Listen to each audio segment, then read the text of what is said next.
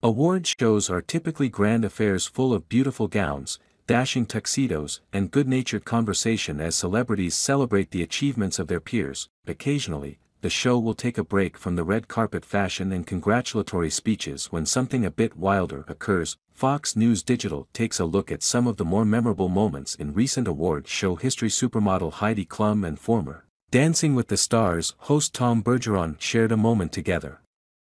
During the 2008 Emmy Awards, one that left Klum with a bruise, during a skit, Bergeron held Klum and dipped her low to the ground.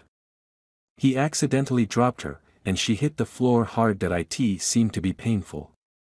Backstage, she posed for photos with her skirt lifted, showing a large bruise on her hip.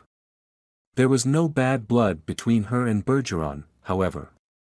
He helped her as she showed off the wound, she rolled her eyes at the remark, and while her husband, Will Smith, initially laughed, he stood a moment later, walked on stage and slapped Rock without a word. Keep my wife's name out your FNG mouth, Smith yelled when he returned to his seat.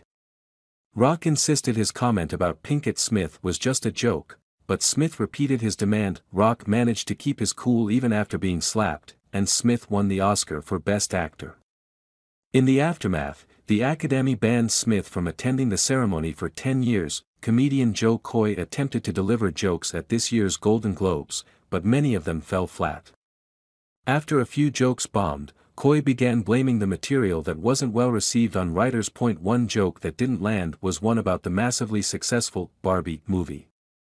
Koy pitted the film against the other big box office hit, saying, Oppenheimer, is based on a 721-page Pulitzer Prize-winning book about the Manhattan Project, and Barbie, is on a plastic doll with big boobies. Many viewers thought this remark totally missed the feminism of Barbie, and was just another example of the misogyny the movie spoke out against.